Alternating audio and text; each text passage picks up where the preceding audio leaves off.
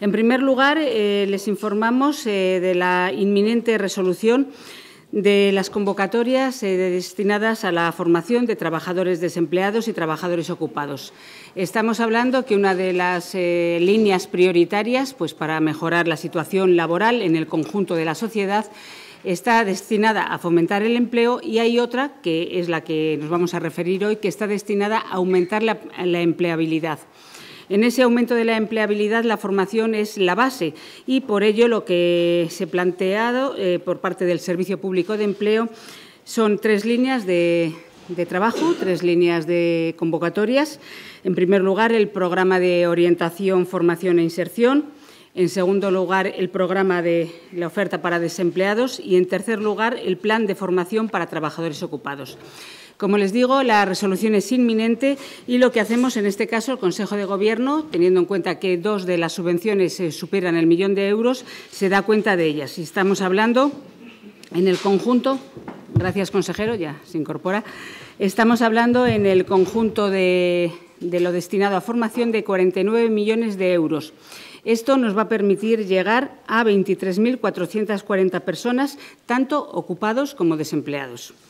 Es la primera vez, eh, también quiero recordarles, que esta convocatoria se hace en base a la Ley 30-2015, es decir, una ley que garantiza la libre concurrencia, que marca una serie de, de plazos, que marca una serie de condiciones para todas esas entidades de formación y, por tanto, es la primera vez que se aplica en nuestra comunidad autónoma.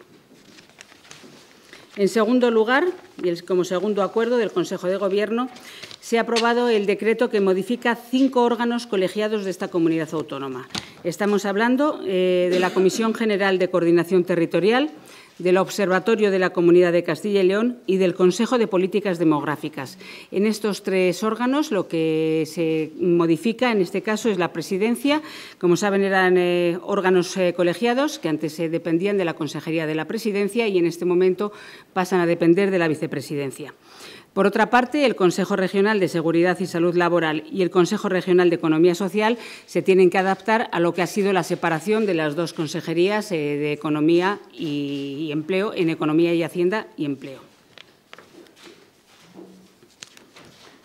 Por parte de la Consejería de Sanidad se han eh, presentado y se han aprobado hoy tres expedientes con una serie de partidas económicas para atender a necesidades asistenciales en Valladolid, en León y en Salamanca. En primer lugar, y en el área este de salud de Valladolid, estamos hablando del mantenimiento de la gerencia de atención primaria y de 32 centros de atención primaria. Se trata de gastos de mantenimiento por un importe de 2.204.000 euros. En el caso del complejo asistencial de León estamos hablando de la compra de eh, fármacos, en este caso son más de 2.000 dosis de inmunosupresores para atender a las eh, necesidades asistenciales del Hospital de León. Y el último expediente se trata del de, eh, equipamiento tecnológico, dos, partes, dos expedientes, aunque vayan en conjunto, de equipamiento tecnológico para el complejo asistencial de Salamanca. El primero se trata de la actualización del equipo de resonancia magnética por una, cuantía de 500.000 euros que va a permitir pues, no solamente que la resonancia magnética incorpore los nuevos avances tecnológicos, sino que también va a permitir la transmisión por red, que saben que es una de las eh, eh, prioridades dentro de de la Consejería de Sanidad la posibilidad de acceso por parte de todos los servicios a las pruebas diagnósticas. Y el segundo, que también es para el Hospital de Salamanca y también por 500.000 euros, se trata de un equipo de radiocirugía estereotáxica que permite acceder y tratar lesiones cerebrales y de la base del cráneo sin necesidad de intervención abierta. Por otra parte, y también en el Consejo de Gobierno de hoy, se ha aprobado la ayuda humanitaria a la población saharaui que está en, estos momentos en los campos de refugiados saharauis por un importe de 35.000 euros que se canalizarán a través de Cruz Roja Española y la Media Luna Roja Saharaui. Eh, como saben, eh, dentro del programa el Plan Director de Cooperación al Desarrollo de Castilla y León permite que en situaciones excepcionales y por causas humanitarias se concedan ayudas de urgente necesidad. Esta es una de ellas eh, que va destinada, como les digo, pues, a los campamentos de refugiados que han tenido en los días 17 y 18 de octubre pues, una serie de inundaciones, de tormentas de arena Y lo que se va a hacer en este momento con estas ayudas de emergencia es reponer alimentos, productos de primera necesidad, etcétera.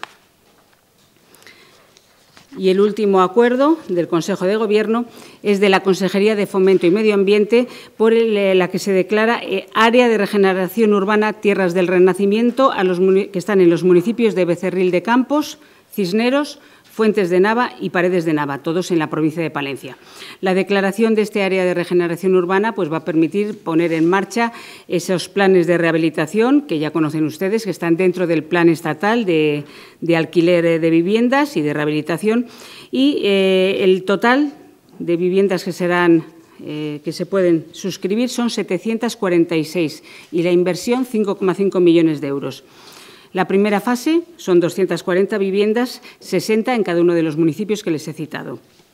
Y, como pueden suponer, estamos hablando de rehabilitación, son viviendas que, en todo caso, cumplen los requisitos de ser viviendas de más de 50 años, son eh, en su totalidad viviendas unifamiliares y lo que se pretende no solamente es mejorar la estructura o la fachada, sino también la accesibilidad y la eficiencia energética. El detalle de los municipios lo tienen en la nota de prensa y finalmente, y como punto especial del orden del día, eh, queríamos informarles pues, del acuerdo que acaba de suscribir en este momento el consejero de la Presidencia con los representantes de los trabajadores públicos de la comunidad autónoma, eh, un acuerdo que saben que se lleva negociando pues, todos estos meses y del que les puede dar eh, cuenta detallada el consejero de la Presidencia. Muchas gracias. Muchas gracias, vicepresidenta. Perdón, lo primero, pedir perdón a la vicepresidenta y a todos ustedes porque me retrasó un poco como consecuencia de las preguntas que se ha hecho a la hora, eh, al finalizar la firma a, los, a, las centrales sindicales. Si recuerdan, en el, en el programa de investidura del presidente Herrera eh, se marcó, marcó dos compromisos claros en relación con, con los empleados públicos, con la función pública. Hubo más compromiso de otras cuestiones, ¿no? Esos dos compromisos, uno tenía que ver con recuperar progresivamente eh, las restricciones derivadas de, la larga crisis y un segundo compromiso era modernizar la función pública, adaptar la función pública a las necesidades del siglo XXI ya en su segunda década, ¿no? en 2015. Eh, hacía en este momento, hace 11 años, que no se acuerda, que no se consigue un acuerdo marco para completo para toda una legislatura. El último acuerdo marco completo en materia de función pública para una legislatura fue en 2004. Desde julio empezamos a trabajar con los sindicatos para eh, intentar centrar y luego cerrar este acuerdo. En ese momento solo hablábamos de modernizar la función pública. ¿Qué ocurrió? Que a mediados de agosto y en los primeros días de septiembre surgió el cruce de una decisión que tomó legítimamente el Gobierno de la Nación, el Gobierno de España, que fue eh, la recuperación de la extra, total de la extra eh, en 2000, de 2012, y la recuperación de los días. ¿no? Eso ha hecho que la, negociación se, se, ralentizase un poco, un poco. Pero yo creo que hemos, y así lo reconocían los sindicatos, en este momento podemos presumir del mejor acuerdo que se ha firmado en cualquiera de las administraciones de España, a día de hoy. Yo no sé lo que pasará mañana, pero a día de hoy es el mejor acuerdo. Por un lado, la recuperación de la extra y de los días, y por otro lado, tan importante o más como la extra y los días, es avanzar en la modernización de la función pública a lo largo de estos cuatro años de legislatura. Eh, como les vamos a dar una fotocopia del acuerdo, si les parece no me entretengo más. Pero hay cuestiones muy interesantes, como por ejemplo reservar los puestos de secretario general y director general para funcionarios, para empleados públicos. Hay cuestiones muy interesantes como es reducir el número de puestos de libres de eh, designación. También hay cuestiones importantes como eh, limitar los periodos de ocupación de plazas en concurso específico o al menos tenerse que volver a presentar a una nueva convocatoria cada cierto tiempo, no hemos fijado todavía los tiempos. yo creo que hemos, eh, hemos conseguido, una vez que se desarrolle completamente este acuerdo, conseguiremos poner la, función pública bueno, pues, a la altura de los tiempos que corren. ¿no? Y yo sí que les quería decir dos cosas. Lo he dicho allí, ¿no? primero agradecer a, a las centrales sindicales el esfuerzo que han hecho, que hemos hecho todos. ¿no? En, en, en, democracia todo tiene solución a través del diálogo. Todos los problemas se pueden resolver a través del diálogo. ¿no? Y, y, y lo que también les hemos dicho a algunos compañeros suyos, o ustedes mismos que estaban allí, es que en todo momento solo hemos pensado en dos cosas en los ciudadanos a los que prestamos servicio, los empleados públicos, y en los empleados públicos. Pero por ese orden. Primero en los ciudadanos a los que nos debemos y a los que prestamos servicios, cada, una cada uno en su parcela, los empleados públicos, y luego, lógicamente, en los empleados públicos de la empresa, de la Administración de Castilla y León. Y si no les parece mal, como les vamos a dar luego el documento, si quieren hacer alguna pregunta, encantado de, de contestarles. Muchas gracias. Cualquier pregunta que quieran formularnos.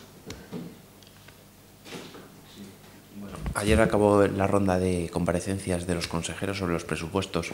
No sé cómo, cómo va, si, si es que las está viendo las conversaciones con el grupo de ciudadanos, que parece el, el llamado a... y si tienen la impresión de que va a haber enmienda de totalidad por su parte, si van a ser más parciales. En este momento, y como usted ha dicho, acabaron ayer las comparecencias. Nosotros lo que seguimos eh, defendiendo es que se han presentado unos presupuestos eh, muy razonables, unos presupuestos equilibrados, que además de consolidar lo que era ya hasta ahora una prioridad, eh, los servicios sociales esenciales, pues en, este caso con un incremento en aquellas mmm, consejerías destinadas directamente a la prestación de los mismos. Sanidad, educación, familia y empleo. Por tanto, creemos que son unos presupuestos que pueden o podrían recibir el apoyo del grupo que lo desee. A partir de ahora, ellos lo tienen sobre la mesa. Eh, nosotros estamos abiertos a cualquier enmienda que quieran presentar y entendemos que, como les digo, si son razonables, deberían serlos para una mayoría de esa Cámara. Pero a partir de ahí no hay nada más. Yo quería preguntarle por otro asunto. Un medio de comunicación ha, ha, publicado que Pedro María de Palacio, el número dos de Podemos, eh, fue condenado siendo menor de edad por abusos sexuales a, a una menor. Eh, quería una reacción por su parte, es procurador autonómico, no sé si considera que este hecho le inhabilitaría para un cargo público o qué reacción debería de tener. Vamos a ver, mire, en este momento son unos hechos que, como usted dice, acabamos de conocer por los medios de comunicación, es decir, que eh, suponemos que son en los términos que se han eh, comunicado, pero no tenemos una constancia. Yo lo que sí creo es que en este caso, si correspondiera a, a cualquier eh, persona, saben ustedes que hace muy poquito les hemos traído aquí un código ético que hemos aprobado para los altos cargos. Yo creo que aquí un grupo político y una persona tiene que saber perfectamente lo que debe hacer. No creo que él no, y como portavoz del Gobierno, no debo ser yo quien le diga lo que tiene que hacer, pero creo que en los momentos en los que, en los que cada uno eh, defendemos una serie de principios es el momento de aplicárselos. No sé si dada la, el cariz que, que, está tomando con los últimos, las últimas noticias que hay sobre eh, la situación de, de Cataluña, si la Junta tiene alguna posición o ha variado de, de, alguna manera la posición de, de, la Junta sobre o la opinión de la Junta sobre este asunto.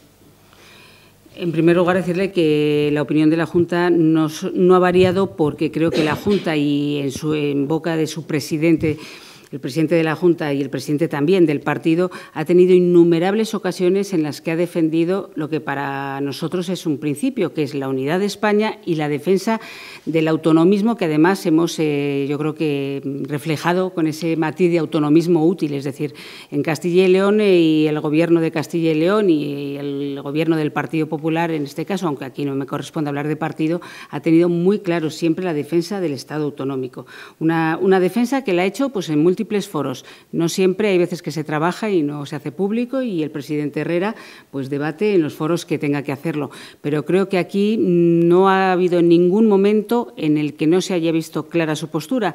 Piensen pues tanto en el debate del Estado de la región, en foros que sean eh, iniciativas eh, que ha habido, siempre ha tenido muy claro Estado autonómico, Estado autonómico de derecho, por tanto, eso es incompatible con el planteamiento que en este momento hace Cataluña y Castilla y León sigue manteniendo lo mismo.